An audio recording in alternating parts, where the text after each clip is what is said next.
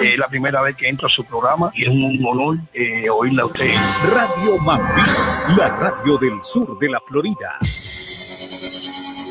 En Radio Mambí, la grande, noticias y más. Información, invitados, análisis, opinión, entrevistas y la participación de nuestra audiencia. Noticias y más. Con Lourdes Subieta. Tengan todos una feliz tarde. Eh, ese partido pues se prolongó evidentemente hasta, hasta esta hora, así que voy a estar acompañándolos los próximos 30 minutos. En la grande de Miami, Radio Mami 710, me pueden llamar, tengo las líneas abiertas para ustedes. Si quieren que conversemos por el 844-446-0710, redes sociales, Facebook Live, arroba Lourdes Jubieta, en el canal mío en YouTube, ahí después, pues por supuesto, ustedes pueden volver a escuchar el programa, verlo, la aplicación Euforia y en la web radiomambi710.com de aire para ponerlos ustedes en auto de lo que está sucediendo. Por supuesto, hay que hablar de Afganistán, hay que hablar de Afganistán. El presidente Joe Biden hoy defendió la retirada de Afganistán, dijo que se hizo como se tenía que hacer, pero estaba hoy un poco desafiante, estaba un poco desafiante. Le advirtió a los terroristas del Estado Islámico, el ISIS-K, que todavía no terminamos con ustedes, les dijo, ¿no? Las amenazas terroristas cambiaron, se expandieron a otros países, nuestra estrategia tiene que cambiar también, dijo Joe Biden. Lluvia de críticas, amigos oyentes, hacia el presidente Biden durante todos estos días. Y bueno, él hoy, hace unos minutos, elogió lo que él llamó, él llama el extraordinario éxito de la misión de evacuación de estadounidenses y sus aliados de Afganistán durante este discurso en la Casa Blanca sobre el final de la guerra más larga de los Estados Unidos, 20 años, desde octubre del año 2001 hasta el 30, 31 de septiembre del 2021 estuvieron tropas norteamericanas en Afganistán. Bueno, él ha dicho, el presidente Biden, que ningún país ha logrado algo así en toda la historia. El éxito extraordinario de esta misión se debe al talento, al talento increíble, a la valentía y al coraje desinteresado de los militares estadounidenses, nuestros diplomáticos y nuestros profesionales de inteligencia. Además, advirtió al ISIS, Estado Islámico K, que es este grupo terrorista que mató a 13 soldados norteamericanos en un atentado suicida en el aeropuerto la semana pasada, que habrá más represalias por parte de Washington. Dijo Biden, seguiremos luchando contra el terrorismo en Afganistán y otros países. Y al ISIS K les digo, aún no hemos terminado con ustedes. Bueno, yo le tengo unos reportajes, mis queridos amigos oyentes, porque tras eh, la partida de Estados Unidos, los talibanes proclamaron la plena independencia de Afganistán, lo dijo este sujeto Sabihullah Mujahid, el portavoz del grupo extremista, luego de que se confirmara la salida del último vuelo de evacuación de Estados Unidos. Eh, ellos inmediatamente salieron a celebrar como mejor lo hacen, que es disparando al cielo con sus armas, que ahora están armados hasta los dientes, cortesía también de esta decisión de salir en estampida de, de las um, tropas norteamericanas. Y bueno, eh, eso por una parte y por la otra porque parte de ese armamento se iba a quedar justamente con las Fuerzas Armadas afganas para protegerse de estos eh, sujetos. Y bueno, el hecho es que el resultado es que las armas están en manos de los talibanes. Y ayer celebraban su victoria así. Un desfile triunfal. Los talibanes no ocultaron su alegría el martes al quedarse con el control del aeropuerto de Kabul tras la retirada de los últimos soldados estadounidenses. Tenemos un mensaje para cualquier posible invasor. Cualquiera que mire a Afganistán con malas intenciones enfrentará lo que Estados Unidos ha enfrentado hoy. En el interior del complejo había decenas de aviones y helicópteros que Washington había dado al ejército regular afgano, después de que las tropas de Estados Unidos los destruyeran antes de irse. La imagen del último soldado estadounidense saliendo de Afganistán puso fin a 20 años de una guerra devastadora y abrió un nuevo capítulo marcado por la incertidumbre. En los 15 días que siguieron a la toma del poder de los fundamentalistas el 15 de agosto, las inmediaciones del aeródromo fueron ocupadas por una inmensa multitud que intentaba desesperadamente subir a uno de los vuelos de evacuación de la comunidad internacional. Los aviones de Estados Unidos y sus aliados evacuaron a unas 123.000 personas según el Pentágono, que reconoció sin embargo que no se pudo retirar a todas las personas que se hubiera querido. Según un estudio de la Universidad Brown, Estados Unidos ha registrado 2.500 bajas y ha tenido que pagar una factura de 2,3 billones de dólares en estas dos décadas. Además, el país sale de Afganistán con una imagen enturbiada por su incapacidad para prever la rapidez de la victoria de los talibanes y por la manera en que se organizaron las evacuaciones. Una nación que quiera desarrollarse y ser autosuficiente no debe esperar a otro Estado debe contar con su propia nación y valerse por sí misma para poder construir su país con la menor ayuda exterior. No es bueno tener todos nuestros ojos puestos en Estados Unidos. Tengo la esperanza de que después de esto tengamos paz en todo el país. Por su parte, el movimiento islamista hereda un país devastado a pesar de los miles de millones invertidos por Estados Unidos y enfrentado a una pobreza extrema, la sequía y la amenaza de los yihadistas del grupo Estado Islámico Khorasan. Los islamistas se han esforzado en dar una imagen conciliadora y abierta y prometieron no vengarse de las personas que trabajaron con el gobierno precedente. También afirmaron en estos días que anunciarían la composición de un nuevo ejecutivo una vez que se completara la retirada de las fuerzas extranjeras. Me, causa eh, gracia cuando dicen que los talibanes prometieron no pasarle la factura a los que habían colaborado con los norteamericanos. Mire, solamente en lo que va de 24 horas agarraron un muchacho que por el simple hecho de ser homosexual, que eso está totalmente prohibido, en este régimen talibán. No solamente agarraron al muchacho, lo violaron, sino que también lo mataron a un muchacho que su delito era querer salir del país porque él como, como homosexual no podía vivir en Afganistán. Y a ese muchacho lo han matado y no tienen 24 horas que se fueron las tropas, ¿no? Que por cierto, este país nunca deja a nadie atrás, excepto en Afganistán. Dejaron atrás, según cálculos del mismo secretario Blinken, de cerca de 200 norteamericanos se quedaron en Afganistán. Pero además también se quedaron los perros. Se quedaron los perros que acompañaban a la tropa, amigos oyentes. Y eso ha caído muy, muy mal. Las imágenes de los perros de servicio en los kennel en el aeropuerto detrás de un Black Hawk y se han ido y han dejado a los perros. Yo no sé si ustedes saben que para el Islam los perros son seres sucios y lo que le espera a esos perros, con suerte, es un tiro en la cabeza. Con suerte. Si es que no los torturan, los pican en pedazos, los queman vivos, los talibanes. A los perros de servicio del ejército de los Estados Unidos dejaron a los perros atrás. Y la excusa para dejar los perros atrás es una regulación de los CDC. Últimamente los CDC están involucrados en la vida de todos de una manera maquiavélica, ¿no? Impidió evacuar esas decenas de perros del aeropuerto de Afganistán y por supuesto ahora temen que los talibanes los ejecuten, pero si es que ya no los ejecutaron, ¿no? Salieron, por supuesto, grupos aquí de eh, eh, personas que velan por los derechos de los animales para tratar de establecer una suerte de puente aéreo para rescatar a esa cantidad de animalitos que se han quedado allí, que los han dejado atrás. Yo no sé qué policía deja atrás a su K9. Ninguno. Eso no existe. El K9, el perro, es una figura más dentro del componente militar. Es como un soldado.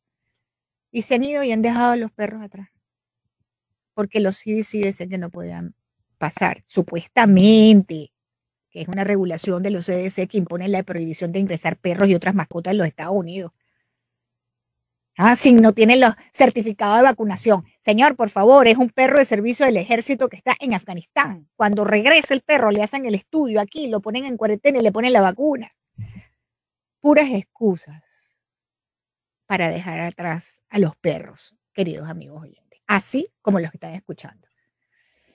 Bueno, apareció el Papa Francisco también, por cierto, opinando sobre lo de Afganistán y dijo que Estados Unidos y la OTAN no tuvieron en cuenta todas las eventualidades al abandonar Afganistán. El Papa Francisco y pidió a los fieles continuar con las oraciones para que el pueblo afgano, eh, para con el pueblo afgano, y además expresó su deseo de que se abra un diálogo para que la población pueda vivir en paz. Yo a veces pienso que no entienden o no quieren entender la verdad verdadera de lo que significa un Estado islámico y encima con el talibán. No sé qué parte no entienden porque ya tenemos antecedentes de lo que es un gobierno talibán, eh, mandato talibán en, en, Afganistán. Si no fuera tan malo, la gente no se colgara de los trenes de aterrizaje de los aviones para salir aunque fuera muerto, como lo vimos en estos días. ¿no? Pero bien, ¿qué dijo Blinken? ¿no? Bueno, Estados Unidos ha dicho en la figura del secretario de Estado que los talibanes si cumplen su promesa, Estados Unidos trabajará con ellos. Vamos a escuchar. Estados Unidos está dispuesto a trabajar con los talibanes si estos cumplen con sus compromisos. Cada paso será dado basado no en lo que el gobierno talibán diga, sino en lo que haga para cumplir sus promesas. Los talibanes buscan legitimidad internacional y apoyo. Nuestro mensaje es que cualquier legitimidad y apoyo debe ganarse. El jefe de la diplomacia estadounidense se refirió así pocas horas después de la salida de los últimos soldados estadounidenses de Afganistán. Blinken dijo que Estados Unidos suspendió su presencia diplomática en Afganistán y trasladó las operaciones de la embajada a Doha, en Qatar. Subrayó, sin embargo, que Washington seguirá ayudando a los ciudadanos estadounidenses que quieran salir del país. El presidente estadounidense Joe Biden había fijado el martes 31 de agosto como fecha límite para retirar a todas las fuerzas estadounidenses de Afganistán, poniendo fin al conflicto militar más largo de Estados Unidos. Los talibanes se beneficiaron de la retirada estadounidense para tomar el poder a mediados de agosto. Bueno, y ahora la misión diplomática norteamericana va a estar en Doha, la capital de Qatar, eh, mis queridos amigos oyentes. Desde allí se va a manejar los intereses de Estados Unidos en, la región. Pero bien, además de los norteamericanos en Afganistán, también hay otras personas que se han quedado eh, varadas en ese país. Y precisamente el jefe de la OTAN prometió no olvidar a esos afganos que no pudieron ser evacuados. De hecho, hay un afgano que sirvió de intérprete a la tropa, aparte de la tropa y a miembros del ejército norteamericano, que lo dejaron por detrás también. Y el señor está diciendo, por favor, no se olviden de mí, no se olviden. El intérprete lo han dejado atrás, al intérprete, el que te ayudaba a entenderte con los afganos, lo han dejado atrás. Vamos a escucharlo al jefe de la OTAN.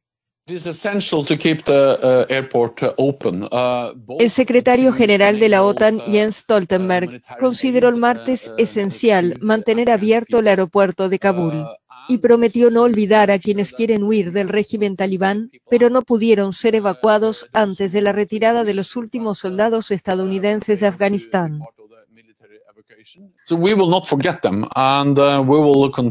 No los olvidaremos y seguiremos trabajando por su derecho a irse de una forma ordenada y segura. Los aliados y socios de la OTAN demostraron su compromiso para ayudar a las personas a salir al evacuar a más de 120.000 personas. Stoltenberg indicó que cuando decidieron retirar las tropas de Afganistán conocían los riesgos, incluido el del regreso de los talibanes. Aseguró de todas formas que nadie previó que sería tan rápido.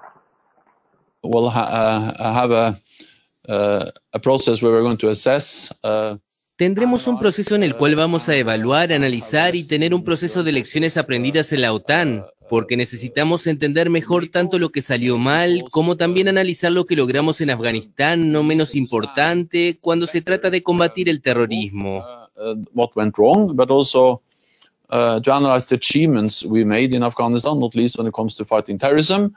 Luego de la salida del último avión militar estadounidense de Afganistán el lunes por la noche, el aeropuerto de Kabul, centro de las operaciones de evacuación de los últimos 15 días, está ahora bajo control talibán. Había una reunión muy importante de la oposición a ver si se iban a sumar o no a estas elecciones legislativas que hay el 21 de noviembre y definitivamente pues sí, la oposición en Venezuela anunció que se van a eh, presentar candidatos de lo que ahora se llama la plataforma unitaria de Venezuela para las elecciones del 21 de noviembre. Voceros de la plataforma unitaria anunciaron que sí participarán en los comicios regionales. Es la primera vez que la oposición desde el año 2017 participa en un proceso electoral y bueno, en una conferencia de prensa virtual, la plataforma anunció que van a presentar esos candidatos para estas elecciones regionales el 21 de noviembre. Eh, dijo, eh, anunciamos a la comunidad nacional e internacional nuestra participación en el proceso de regionales y municipales con la tarjeta de la Mesa de la Unidad Democrática.